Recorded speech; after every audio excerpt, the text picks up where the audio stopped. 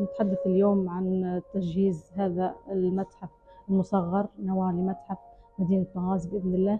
آه، هي عبارة عن مشاركة. آه، تمت دعوة لها من خلال اللجنة المنظمة لمهرجان صيف بنغازي آه، قبلنا الدعوة عادة لمحاولتنا محاولتنا لإيصال عديد الرسائل للمجتمع بشكل عام وللجهات المسؤولة في البلاد للاهتمام والالتفات لمجال أو قطاع الآثار في ليبيا وفي بنغازي بشكل خاص.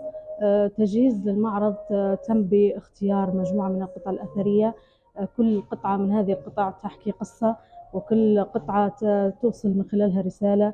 كل قطعة لها مميزات خاصة. ومجموعات من القطع لها تاريخ ولها ولا وتعكس حضارة معينة. تعكس ثقافة معينة. آه، هذه الثقافات وهذه الحضارات عاشت على أرض ليبيا فأصبحت جزء منها أثرت وتأثرت. آه، قمنا باختيار مجموعة القطع الأثرية. ثم لإعداد تجهيز هذه القطع عن طريق البحث بشكل مفصل في المصادر والمراجع عن القطع وعن تاريخها وعن الفترة التي تعكسها عن الطراز الذي الذي صممت من أجله. عن الفترة والمرحلة التاريخية التي ترجع إليها فكان العمل آه، آه، شاق بعض الشيء. فتولى هذه المهمة فريق متكامل من باحثات قسم المتاحف والجدير بالذكر أن معظم آه، قسم المتاحف هو من النساء باحثات خريجات قسم الآثار جامعة بنغازي وبالإضافة إلى اختصاصات أخرى. كانت لها يد العون في هذا المشروع. آه، كل كل حسب تخصصه وكل حسب آه، قدرته. آه، لم يتوانى أحد من الفريق هذه الباحثات من تقديم كل ما تملك من معلومات وكل ما تملك من جهد حتى يتعدى هذا الجهد إلى المجهود البدني لتحقيق الهدف الأسمى من هذه المشاركة وهو إنشاء متحف لمدينة بنغازي. تم التجهيز لهذا المعرض ببعض الإمكانيات الذاتية آه، بعض المجهود الذاتي من خلال مراقبة أثر بنغازي بالإضافة إلى دعم اللجنة المنظمة لمهرجان صيف بنغازي. آه، حاولنا من خلال هذه المشاركة ومشاركات سابقة من تقديم رسالة ألا وهي أن وجود كم كم هائل من القطع الأثرية في مخازن مراقبة أثار بنغازي.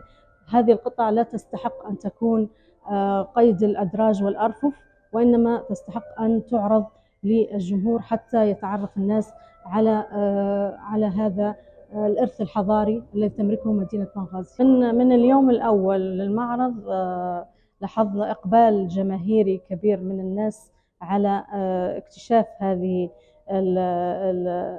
الرحلة الزمنية عبر هذه القطع الأثرية.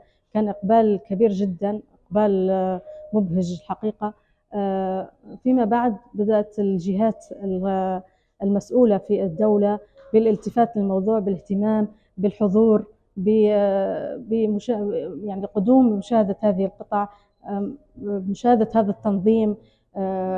أجواء المعرض كانت بالكامل. يعني لاقت استحسان سواء الجهات اللي هي المعنية بالمواضيع هذينا أو الناس العامة يعني. آه، لاحظنا إقبال جميع شرائح مستويات شرائح المجتمع من الأطفال. فالإقبال هذا آه، يعني من جميع الشرائح من جميع المستويات حتى الكبار في السن آه، يقارنوا ما بين حياتنا القديمة وما بين استخدام خاصة الأواني الفخاريه عند الأغريق وعند الرومان فالإقبال كان ممتاز ممتاز جدا. الإقبال كل يوم وصلنا لمرحلة إن نحن آه، يعني الدخول يكون بشكل مراحل تدخل فوج وبعد هيك آه، نعطوا فرصة شوية لنا المجموعة اللي في المعرض تشاهد القطع ثم يتم إدخال المجموعات الأخرى.